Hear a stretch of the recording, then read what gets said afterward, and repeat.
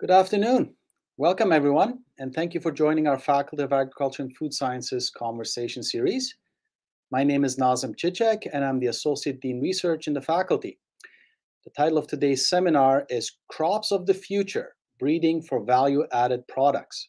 So before we begin, I'd like to acknowledge that the University of Manitoba is located on the original lands of Anishinaabe, Cree, Oji-Cree, Dakota, and Dene peoples, and on the homeland of the Métis Nation.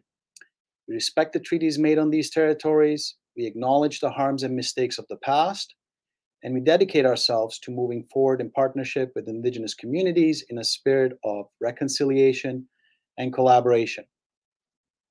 So, if you're new to the Faculty Conversation Series, this is our virtual seminar series that highlights some of our innovative research here at the faculty. And we try to do it in an engaging discussion format. And if you have missed some of our previous seminars, uh, you have an opportunity to view them right here on our faculty's YouTube channel. And as another option, you can also find these uh, links to the seminars at our knowledge translation portal called the Manitoba Agriculture and Food Knowledge Exchange, or MAKE. So makemanitoba.ca is a website that highlights our faculty's research as it relates to consumers and producers, a variety of links to research uh, resources such as uh, podcasts, infographics, fact sheets, and even some recipes. Okay, so today we have three speakers who will share with us a short summary of their research and then engage together uh, in a conversation. You, as a viewer, can participate in this conversation by sending in your questions and comments uh, via the chat platform Slido. And right now, I'd like to call on Crystal Jorgensen, the faculty's communications specialist, to provide some guidance on how the audience can participate uh, in today's presentation. Crystal? Thanks, Nazim. Welcome, everybody. Really glad you can join us today. Um, as Nazim suggested, uh, to participate in today's session, we invite you to go to slido.com and enter the, uh, the access code hashtag future crops that will get you into the, the chat Q&A format that we have. I will indicate that it's um, kind of a succinct format, so try to keep your questions relatively short. The letter count is a little bit limited. Um, and we encourage you to start entering your questions at any time, um, starting now uh, and going through until we get to the Q&A portion at the end, and we'll try to answer them in order as they come in.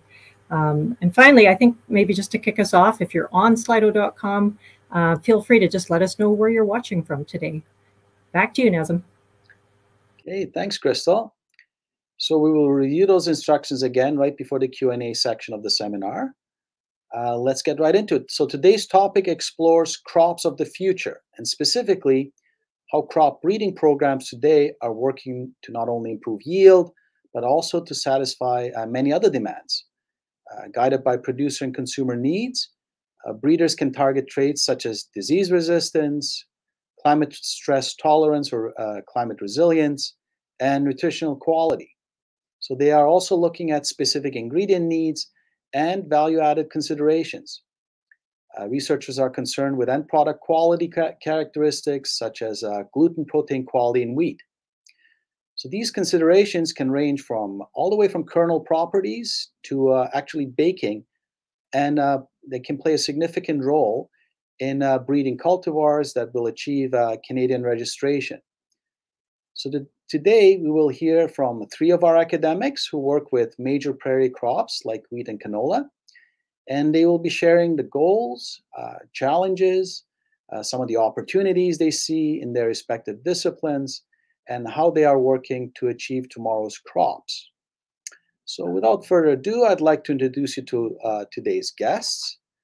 So please welcome Curt McCartney, who is an associate professor in uh, wheat breeding and genetics in the Department of Plant Science. He has studied various traits uh, in wheat and oat, including resistance to fusarium head blight, rusts, common bunt, and orange wheat blossom midge. He's breeding, uh, his breeding program focuses on development of winter wheat for the uh, Canada Western Red Winter Market class. So I want to turn it over to you, Curt, to uh, introduce us a little bit to your research. Okay, thank you very much, Nazim.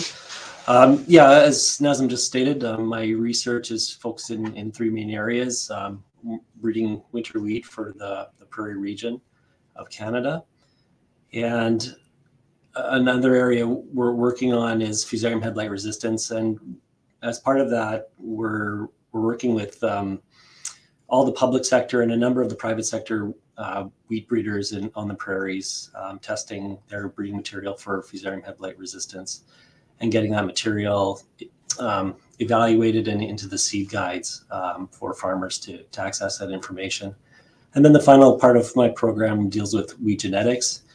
And that is related to understanding the, the genetics of the, of the winter wheat crop primarily um, so that we can make um, uh, genetic gains uh, that'll be of use for farmers. And maybe I think, given I'm one of the first people up talking, I thought it maybe could just briefly what mention what plant breeding is. It, really, what it, the process involves is cross pollinating different uh, wheat lines, or in the case, in, in, my case, wheat lines or varieties. And then amongst the progeny from these uh, cross pollinations, we look for for plants that have superior uh, traits in in the in the progeny that are that exceed the the current uh, varieties that are out there. And I guess maybe I should also maybe mention what a variety is for people aren't familiar. These are genetically related individuals or plants. It's a genetic package that's sold uh, to farmers for, for production.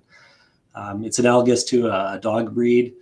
Um, so you have different breeds of dogs, and likewise, we're creating new different breeds of, uh, of wheat. Um, and the farmers would then buy these for their for their particular needs on their farm. So different growing regions in the prairies have different uh, environmental conditions, disease pressures, and they would have different varieties that would suit suit their individual farms. I guess in terms of traits we're working on, uh, obviously grain yields probably by far and away the, the most important one. Um, but we're also working on improved adaptation. In the case of winter wheat, one of the most important ones is, is winter hardiness or winter survival.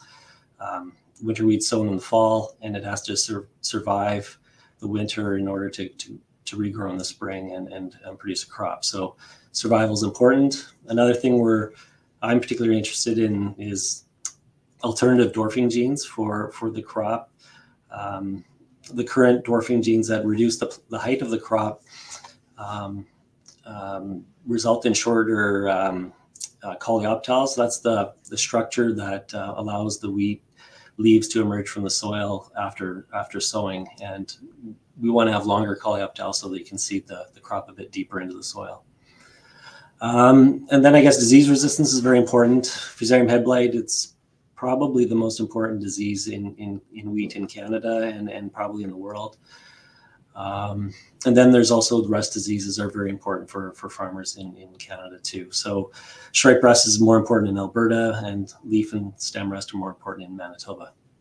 Um, and then finally, grain quality.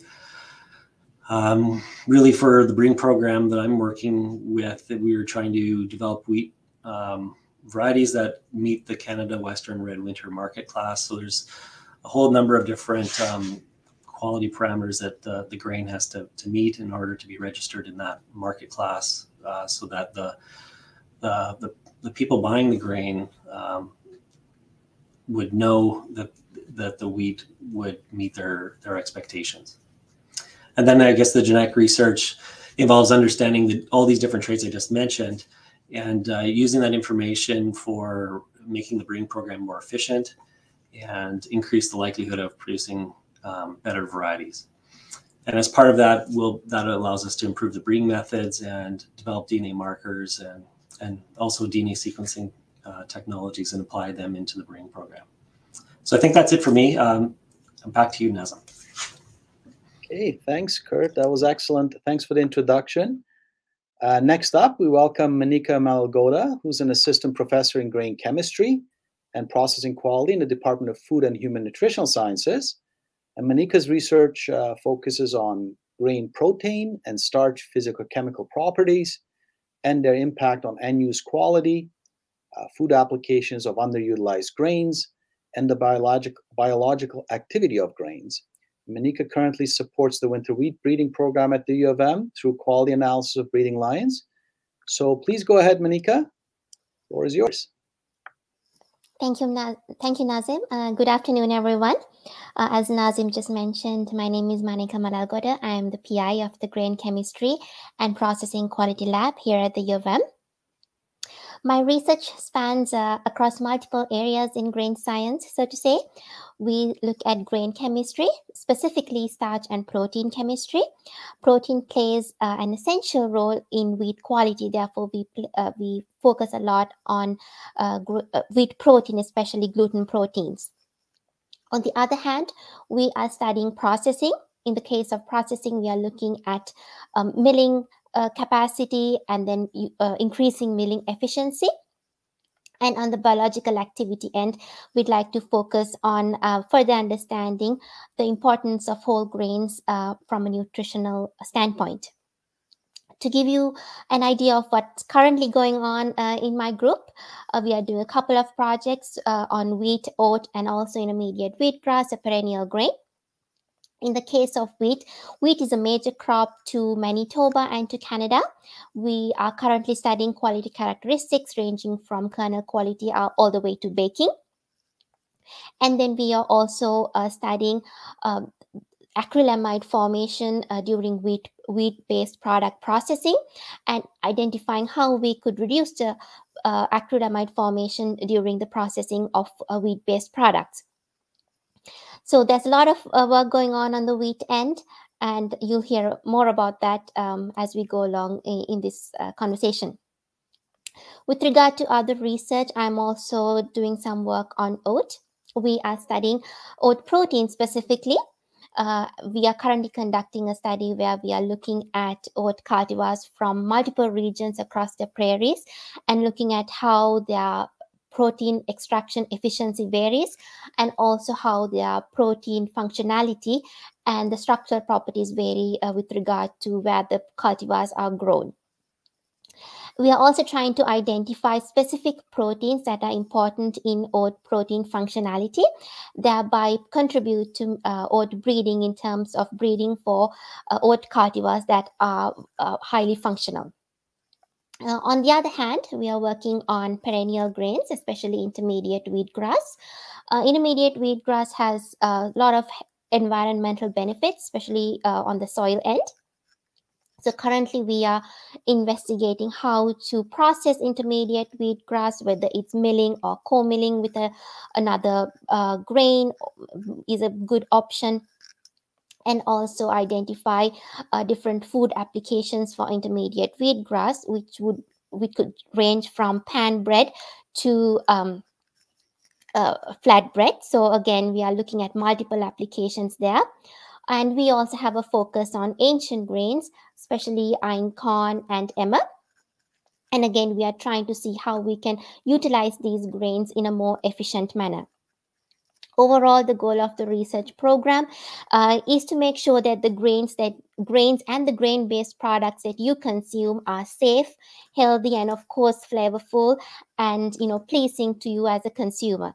Uh, that's all from me. Uh, back to you, Nazim. Thank you. Yeah, thanks, Maneka. That was excellent. Um, we have uh, our next guest up, and we welcome Rob Duncan, who's a professor in canola rapeseed breeding in the Department of Plant Science. Uh, Rob grew up on a seed production farm near Miami in Manitoba and has experience in breeding common bean, wheat, and uh, canola. His current breeding program uh, focuses on the improvement of high erucic, uh, erucic acid rapeseed cultivars for Western Canada. So I turn it over to you, Rob. Thanks, Nazim. I appreciate the opportunity to speak about uh, our research in the brassica breeding program and specifically today to discussing breeding value added products. So before I even start, I have to highlight the amazing team of technicians and students that we have in our breeding program in the field, the greenhouse, the seed quality lab, data analysis, molecular lab, and, and doubled haploid lab. These are the scientists who, who really make our research possible. Uh, I also want to thank our, our numerous collaborators and our sources of support, including NSERC, the Canola Council of Canada, Manitoba Canola Growers, Bunge, Nutrien, and, and DL Seeds. So we often term our group the Brassica Breeding Program, and, and I do that because We work with numerous brassica species in the brassica breeding program. And not all of these species fit the traditional canola quality definition or the definitions for rapeseed or high erucic acid rapeseed. So that's why we often refer to ourselves as the brassica breeding program. Our current research really focuses on a wide range of agronomic, seed quality, disease resistance, and overall trait improvement in canola or high erucic acid rapeseed. And at any one time, we could be selecting for over a dozen traits or characteristics in those genotypes in the field.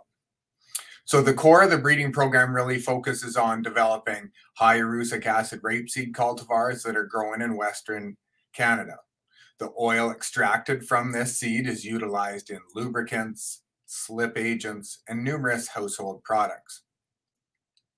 So these dozen or more characteristics can include yield and disease resistance, as already mentioned, or oil content and quality, just to name a few. Many of our graduate students that are working in, in our breeding program center their research on the genetics behind one or more of these traits and are looking often to improve some of these traits. So the graduate students in our research are really the trait developers. Now, overall, the main goal in our in our research and and and how I, I try to uh, frame things is is to improve the economic and environmental efficiency of canola and rapeseed production in Canada. Now, we could accomplish this by focusing on traditional traits such as yield or disease resistance. But in recent years, we've directed research efforts to adding value to the crop. So, what I mean by that concept is that we want to utilize the entire plant and the entire seed, not just one component of the seed. And that's traditionally been done with the main product coming from canola production being oil. So, as an example, what if we could utilize the stem or stubble after harvesting the seed? Likewise, what if the meal or the co-product with what if the meal was a co-product with the oil rather than being kind of a lower value byproduct. In this scenario, the farmers would have three main products coming from the growth of their crop rather than just the traditional oil as the main product. So, in doing this, we would be using the time of the growing season and the space of the land in a more efficient manner.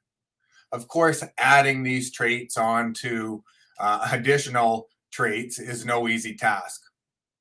It means adding more and more on uh, in, into the selection of our parents and our hybrids on top of those dozen traits that I already mentioned. So as an example, it would mean breeders would have to develop protein contents or seed qualities that add value to down downstream processing, making that downstream processing more efficient or breeders would have to modify the stem characteristics, whether that's the cellulose content or the lignin content, uh, so that it was more appropriate for certain end uses. So adding on all these traits would introduce many challenges, both genetically and logistically. But it's so exciting to see the potential that there is to add further value to canola production in Canada. I'll maybe end it there, Nazim, and we can discuss further and address any questions. Yeah, thanks, Rob. That was excellent as well. And uh, it leads me right into our next portion of our conversation, which really is uh, to bring you all uh, back to the table and discuss a little bit uh, how you see your breeding programs really addressing this value added needs that producers and uh, processors and, and, consumers are looking for value addition, what that really means to, uh, to the group. I, I know we covered varieties from canola, winter wheat, you know, perennial grains, oats, and so forth. And I'm sure there's different lessons to be learned, but right across the spectrum, there's this notion that we can add value. So, what does that really mean? Maybe we can get a bit deeper into that. And uh, I'll start with Curt this time. Um, how does your uh, plant breeding program fit into this value added products uh, notion? Well, I think uh, in the case of wheat, and uh, I guess in my case, winter wheat, uh, wheat is really produced as a commodity for the most part. Uh, there's specific wheat market classes where varieties get registered into, and they they get segregated at an elevator into these um, market classes. So I think there's two main avenues for value added products in wheat. Um, one would be moving sort of the target for a particular market class in a different direction, and all the varieties that get registered in that class would would move along with it over time. That would be one main mechanism, and that would say the the red winter um, market class would have improved quality as a, as a whole with all the varieties in it. Another mechanism would be um, through the spe special purpose wheats, or yeah, yeah, I believe that's what they're called, special purpose market class. This is really a feed wheat, ethanol wheat sort of class that really has no quality constraints to it at all. And you could have a really high value um, wheat variety that would have excellent grain milling properties put into that class. It just didn't fit into any, any of the other market classes, and it could be grown in a contract system um, and, and, and that value captured in that mechanism. Right, and service the ethanol industry, for example, specifically. Yeah, that makes sense. Yeah. Rob, you mentioned quite a bit uh, already in, in your uh, intro about using the entire plant, you know, um, taking advantage of the fiber and the protein. Uh, can you maybe get a bit more into detail on that, how that improves the overall value, particularly as it relates to uh, what is the uh, the mechanisms you would breed, for example, for a particular kind of fiber, or uh, looking more specifically to protein rather than oil?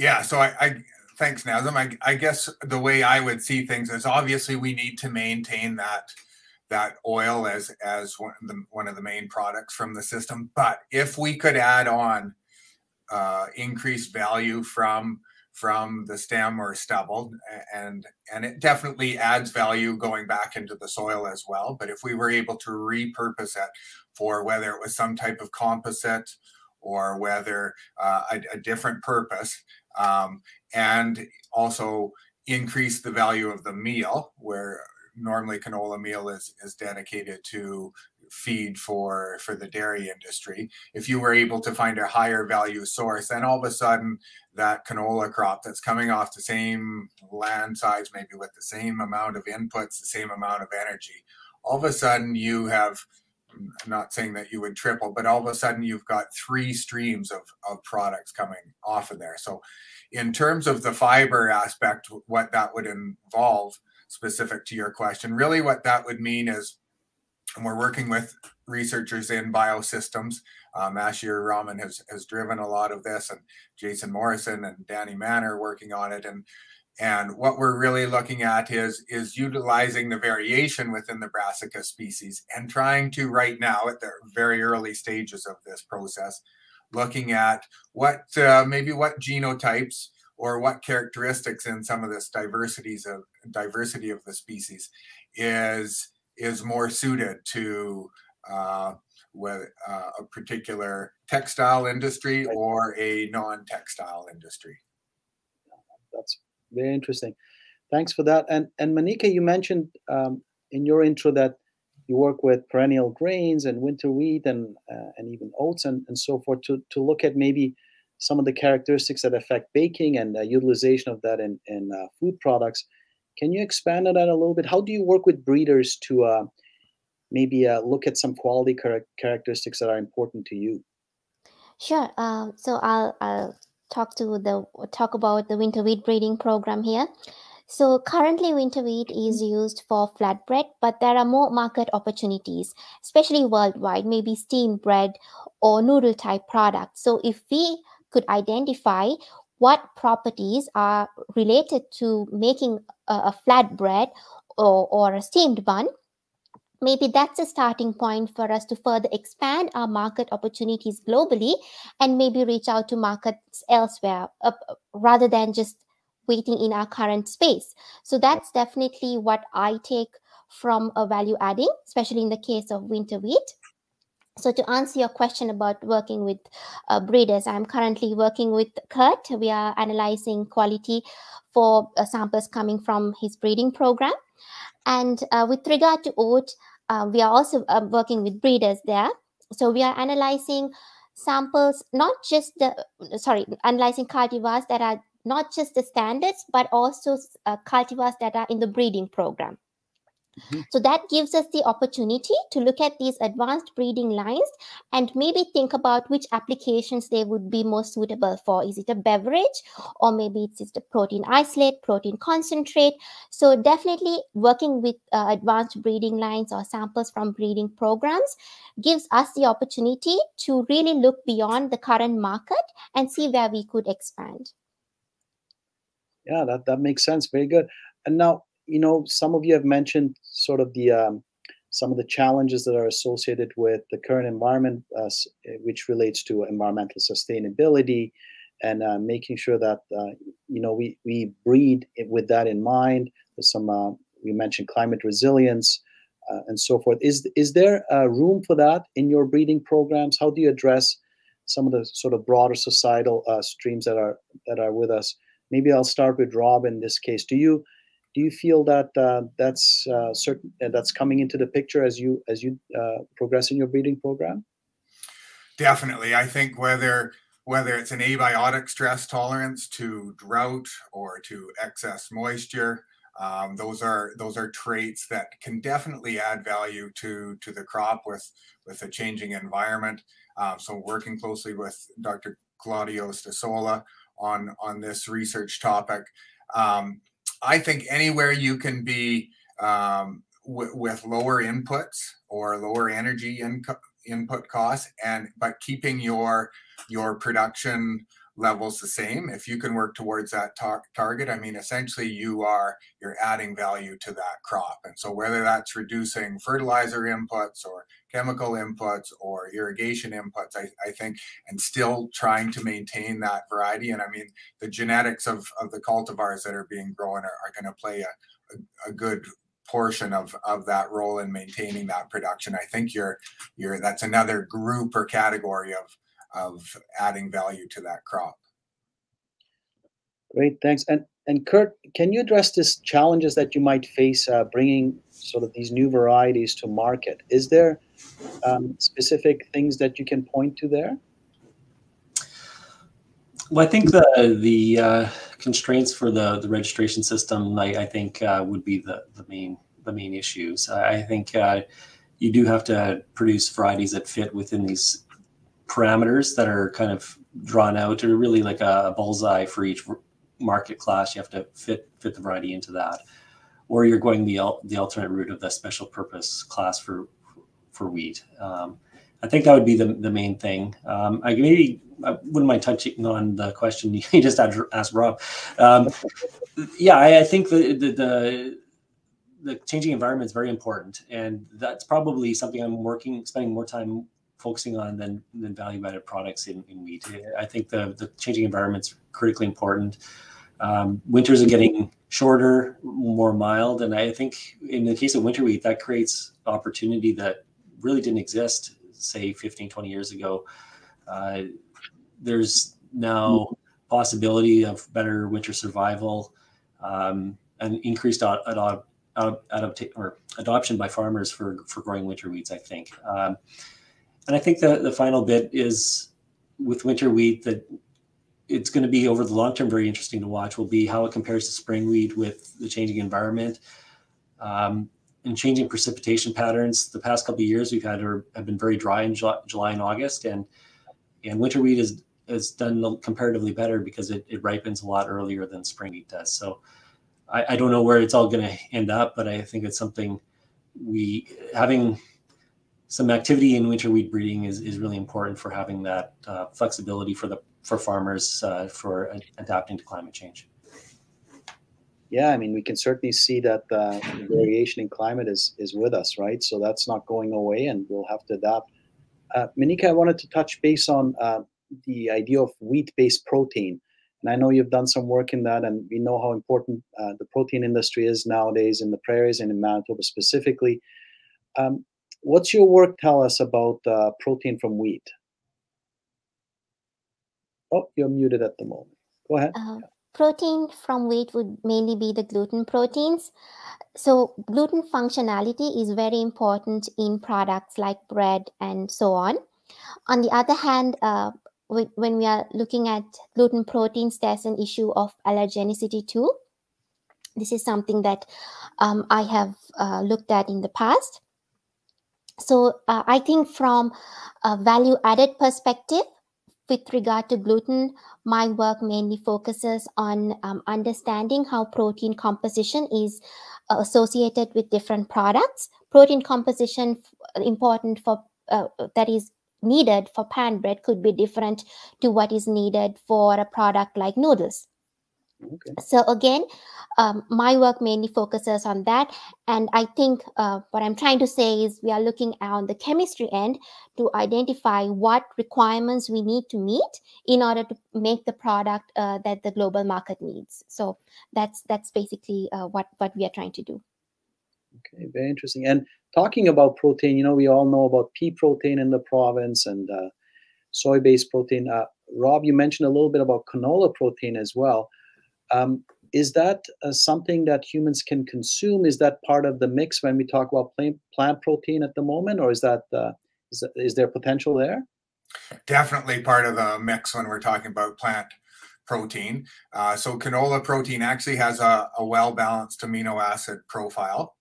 Okay. Um, Merit Functional Foods actually has multiple canola protein products. One of them is a blend with with pea as you mentioned. Uh, but there are numerous products, and and some of the basis for some of those products is is uh, kind of the two main seed storage protein types in canola.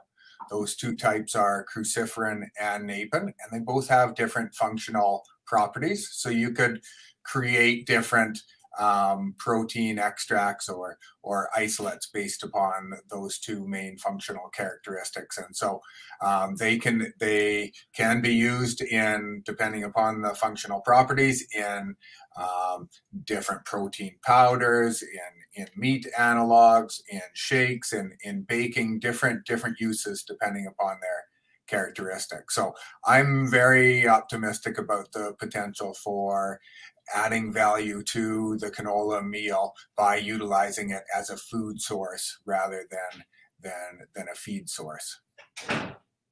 Yeah, no, I mean that that's going to be important, right? As uh, we mm-hmm. transition away or towards more plant protein consumption, and it's got to go beyond feed and into the human market. So that's I think that's a, a brilliant opportunity there for sure. Uh, yeah. Uh, Curt, when you think about uh, breeding for disease resistance, you mentioned that uh, as well. Is is there is there a connection there with value addition? So if you if you think about uh, resilience in the face of um, obviously uh, diseases that might now be uh, you know out there because of climate change or climate variability, more moisture or uh, you know higher temperatures, and uh, does that does that correlate with uh, this this whole notion of breeding for value addition? Yeah, it does in, in maybe a different mechanism. Um, disease resistance is really important for maintaining yield. Um, in the in the presence of these diseases. Uh, almost all of the diseases for wheat are caused by fungi, and the infection process involves having in, happens in environments where there's lots of water. So in a drought year, you're not going to have much problem with diseases, but uh, in a wet year, you you can have significant problems. Um, different parts of the prairies have different disease issues. Um, and the farmers there are, are, quite familiar with what what they're facing in the fields each year, and uh, they've developed sort of I guess methods and, and strategies for for mitigating these diseases. But the varieties themselves can range quite drastically in the level of resistance to individual diseases, and uh, there's opportunities for for saving money for in terms of losses and, and losses in grain quality, but also in redu- reduction of fungicide use. And in particular, I guess with Fusarium head blight resistance, um, what would be really nice would be get to a point where we have strong enough resistance that a fungicide wouldn't be needed to for controlling that particular disease. That would be a, a really long-term goal. I think all the wheat breeders are, are working toward.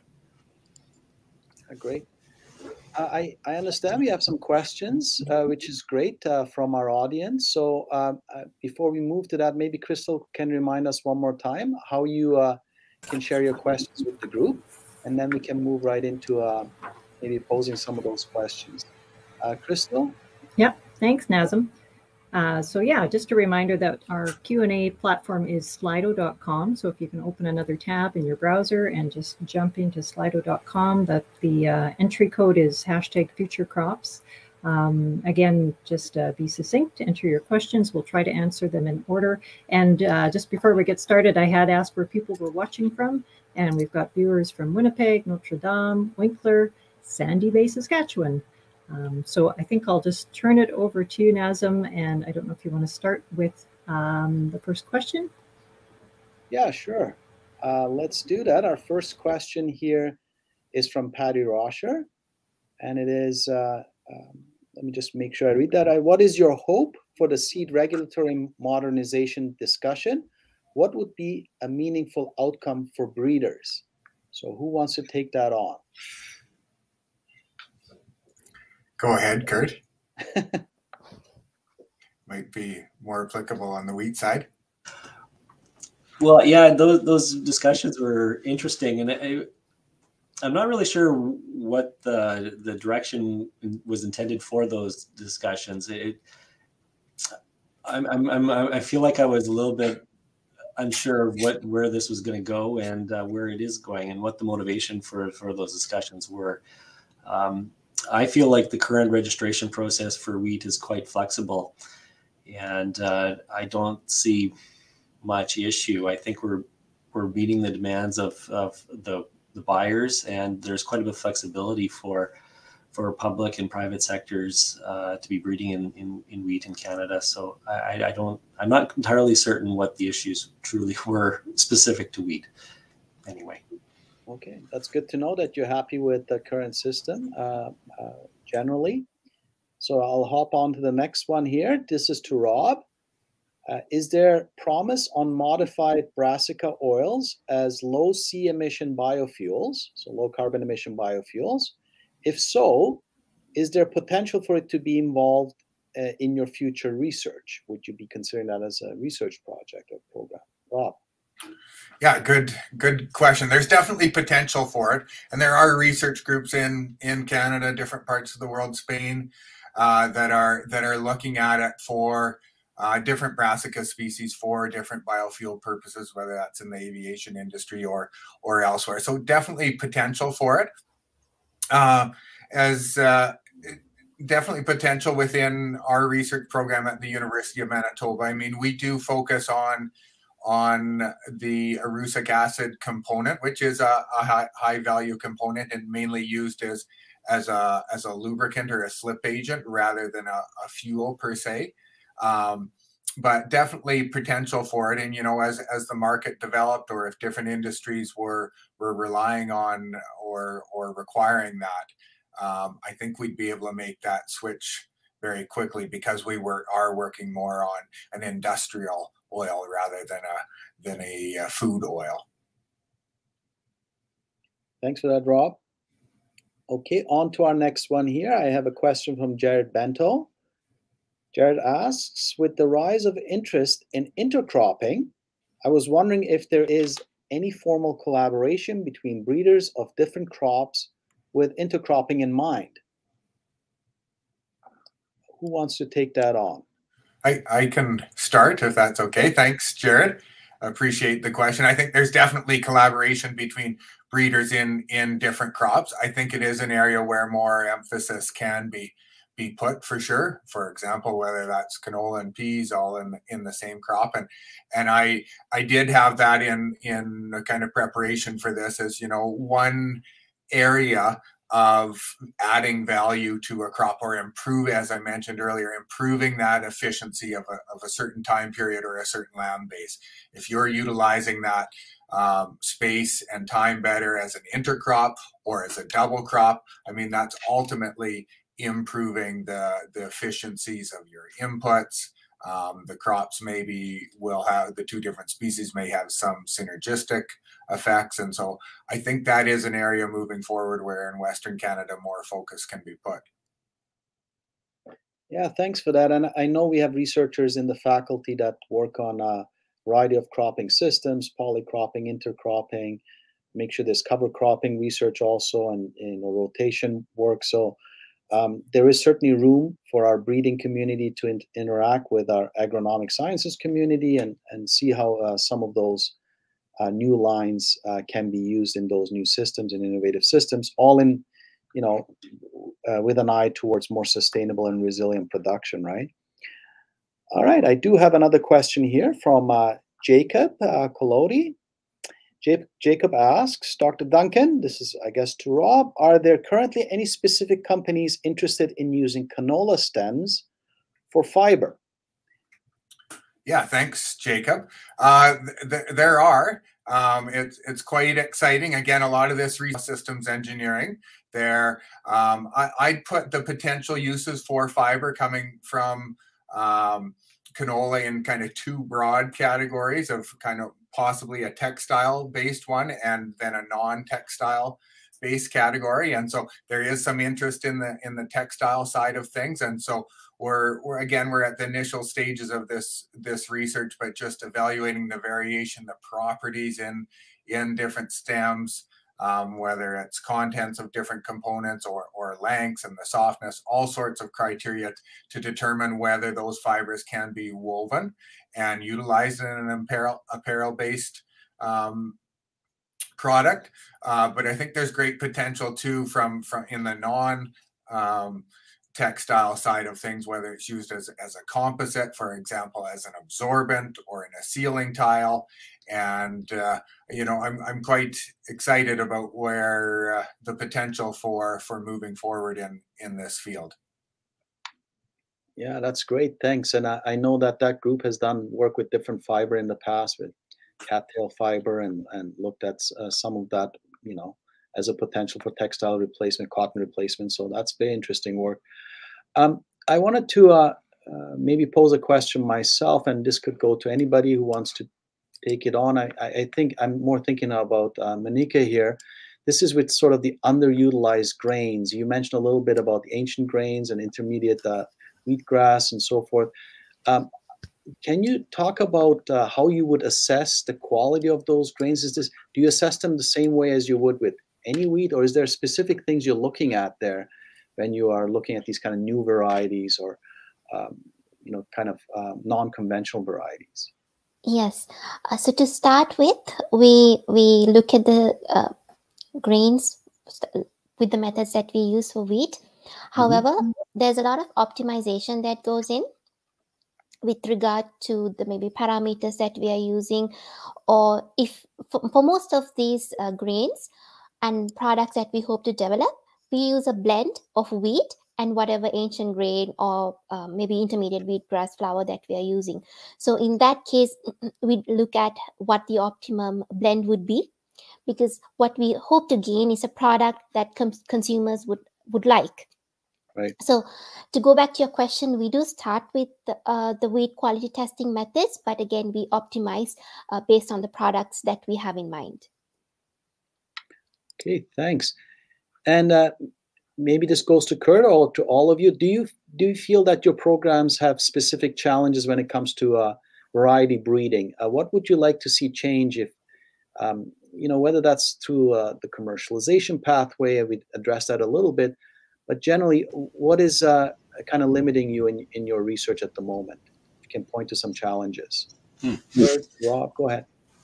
I think one thing that I I don't know if it's a really a, a challenge or, or not, but it, it, it's maybe clarity on uh, CFIA's position on PNTs and um, and um, genome or gene editing technology and where that's all going to fit in. And, I, and perhaps, I guess maybe my per perspective would be nice to see if um, Canadian um, requirements or, or legislation in this area are more harmonized with other countries in the world. Uh, right now, we are a little bit different in terms of how we treat, particularly um, um, transgenic crops compared to other countries. And and uh, I think with genetic engineering, I think uh, it would just be nice to know what direction that's going because uh, we're getting a lot a lot more information on genetics and the specific genes we're involved in in many traits, and there's lots of opportunities now for for using that type of technology for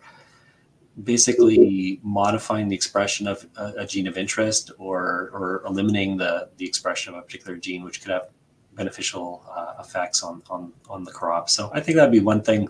It's not really a, a con, maybe a, a, limitation or a concern at the moment, but it's something I think looking to the future, it'd be nice to have some clarity and for for knowing how to how to utilize these technologies in the future.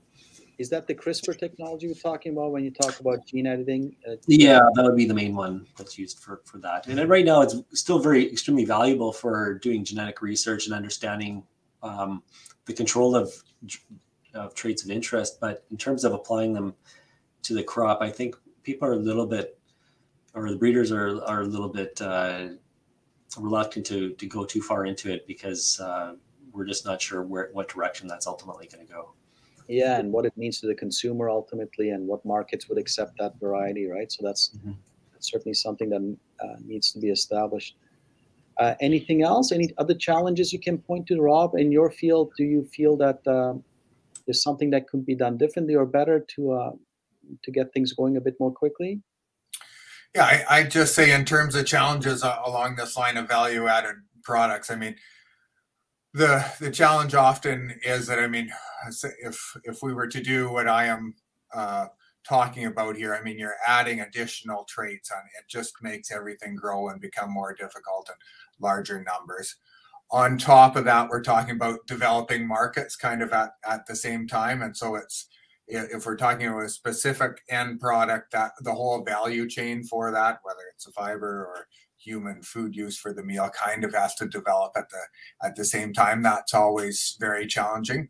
Um, from a breeding standpoint, a direct challenge, the biggest challenge I have is is uh, evaluating whether we're talking about a fiber trait or a meal trait, a protein related trait, is evaluating many, many samples in a rapid period of time with a small sample size. That's probably my biggest limitation in a, in a breeding program um, because we can we can do a, a, lot of wonderful assays and, and determine whether it's amino acid profile or cruciferin content, but they're time consuming. Sometimes they need large amounts of seed. And a lot of the breeding progress that we've made in many crops and and for any traits is due to the fact that kind of simultaneously or or a key part in that process was that an assay or a test was developed where you could rapidly evaluate a small amount of, of the, the product that was needed. And so those are things that kind of has to develop at the same time for the breeders to make progress. Yeah, you can get a lot of varieties going, but if you can't have the analytical tools to kind of understand what's mm-hmm. exactly going on, right? And the high throughput tools. Yeah. Maybe that has to catch up a little bit. That makes sense. Um, I do have another question here posed by the audience, so maybe I'll jump onto that. This is to Maneka. Uh, do you also look at barley grains potential for human consumption? Do you do any work with barley?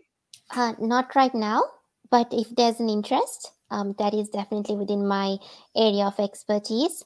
Uh, we can not only look at barley from for a food uh, purpose, but we could also and I think this needs uh, further studies look at barley from an aller allergenic perspective, because again, barley also has allergens.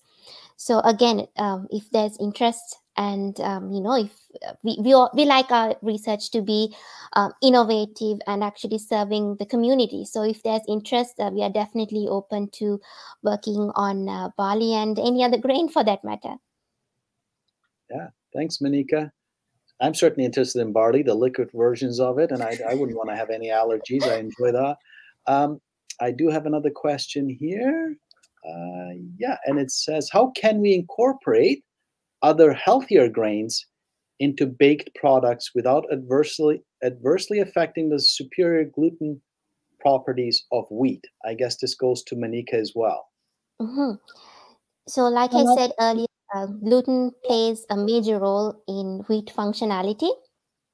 So one of the major challenges of incorporating other grain-based ingredients is maintaining that functionality without gluten. So there are a couple of things we can do uh, with regard to addressing this challenge ingredient formulation sorry product formulation can be uh, optimized we can include products like hydrocolloids or emulsifiers to make the product um, better also on the also on the processing end we can identify um, the best processing conditions and this could start from milling itself what particle size may be best for this type of product. So definitely there are challenges in replacing wheat with other uh, grains that do not contain gluten. But you know this is still doable uh, if we look at um, gluten free, free products. And these products have very much improved over the years. So ingredient technology plays a major role there. So we have uh, many different ingredients that we can work with in order to make products that uh, consumers like. Right you know i, I think it when gluten-free products came, first came on the market uh, people were joking that gluten must mean uh, deliciousness because you know they lost all the uh, the benefits they would get from eating that product you know but that has changed certainly mm-hmm. i I, uh, I, recognize now that uh, consumer preference is, is a huge part of developing new products right so it's sure. got to be palatable uh, i do have another question here from uh, stephen fox um, how do you balance competing interests for value added or changing values for example oil for food or oil for fuel. So maybe we'll give Rob the first uh, stab at that since he works with uh, oil seeds. Go ahead. Thanks, Stephen. Um, uh, that's a great question. It, it is a is a difficult balance, I guess. Where and and because of that, where I mean that oil for food from our canola production in in Canada is is so so critical and and for that reason I'd I'd prefer not to interfere or or have a competing interest with that uh, that oil for food. But in addition to that, if we can utilize the plant better or the, the meal after the oil extraction better, um, I think that's where we can really add value in that manner where we are not competing um, per se, uh, because it is a difficult challenge to take away oil from from the food sector to to the fuel side of of things. So I'd prefer to keep them separate and and keep that food component and, and add value with some of the other products that are coming out of the production system. Right, and I, I guess we could uh, even look at ethanol from uh, wheat or corn. You know, first generation biofuels. We have that food versus fuel challenge and the balance there. And, and Curt mentioned that briefly that you could uh, breed for uh, for ethanol specific crops, I guess, or wheat. And uh, you know, one has to be careful about the balance on what we dedicate our land and effort to, right? But Curt, did you want to address that at all? Uh, what would one look at when you are breeding, particularly for a biofuel like ethanol? Well, I think it needs to be high yielding. I think that's the the main thing is lots of starch, um, and uh, I think uh, I'm not sure there's a whole lot of future in that area in, in the wheat side of things. Um, I think it seems like based on the car manufacturers, the, the direction is electric vehicles. And uh, I don't know if, given the timeframes of breeding uh, being 10 to 15 years before you have a product from the initial cross pollinations you make, um, I don't know if there'd be much point in going down that direction at this point in time. Food is definitely needed, and uh, we want to utilize the land for, for, for food, I believe. Yeah, I, I, I agree, uh, and I uh, I do have a bit of background. No, it's good. Yeah, I agree. I think that's uh, I think that's been resolved now. Most of the biofuel plants that are coming online are second or third generation, looking at waste rather than food as a as a feedstock. But even if it's not fuel, but you need the chemical itself, right? So ethanol isn't just a fuel; it's used for many other things. You can get butanol out of things. You can get certainly, you know, oil uh, is used for many things beyond uh, making biodiesel, for example. So there's opportunities to look at getting high value products out of your crops and uh, not sacrificing too much of your uh, you know food supply chain there. So I guess one um, let me see we have a few more minutes, but um, there is one more question. I'm going to pose it right here before I ask one. Uh, given the very long timelines of breeding, how do you anticipate needs are there think tanks or blue sky breeding sessions? It's a very good question. So I'll I'll uh, maybe start with Curt. How would you see these uh, long timelines affect your uh, strategies when it comes to your program? Well, I, I, I, the breeders do talk about these things to a certain degree, particularly the variety registration meetings that are held every year. Uh, so there are there's discussions about these these topics. Um, and then I think each individual breeder also has their own thoughts on where things maybe ought to go. And maybe they don't always share it with everybody else. With those, then maybe they want to have a competitive advantage to move on to something quick, quicker than someone else. Um, I guess for me, I think there's been quite a bit of talk in, in wheat about alternate alternative dwarfing genes. Uh, the Green Revolution genes that have really reduced the plant height of, of the wheat crop um, for protecting the crop from lodging. Um, these genes are associated with shorter coleoptiles, and uh, they're also associated with increased Fusarium head blight um, disease in the field. So I think there, there there are now additional genes which have been identified in wheat that that could have some value, and I think I know other breeders are, are interested in these genes and, and and seeing if they can utilize them to swap them out or almost to see if we can create a crop that would be um, able to emerge from soil a little bit deeper. So you can see maybe a little bit deeper into the, the moisture in the soil. And, um, and possibly in the case of winter wheat, you might also be able, if you're seeded a little deeper, as long as it emerges relatively quickly, it may protect it from the winter as well. So that'd be something that'd be interesting to look at from a, a combined breeding and agronomic sort of study. Um, yeah. But yeah, there's lots of opportunities there, I think. And Rob, when you make decisions on uh, what your next steps might be, or five years down the line, uh, whatever it might be for your program, uh, how do you decide on those things? You know, there must be so many options you can pursue, right? So, um, is there a, a, place to go? Uh, you know, conversations to be had with people on uh, what's next? I think so. Uh, I, you definitely have to have a vision. I think you have to be aware of what's happening in agriculture as a whole agriculture on the global scale. You know, some challenge that they might be having in a different production area of the world. You can maybe anticipate that that might be coming here or has been here, depending upon the situation. I think, as as Curt said, at different variety registration meetings or different conferences, seeing what challenges they're experiencing in other crops, I think those are all all mechanisms that you can hopefully use to formulate that that vision of what's going to be coming 10 20 years down the road right?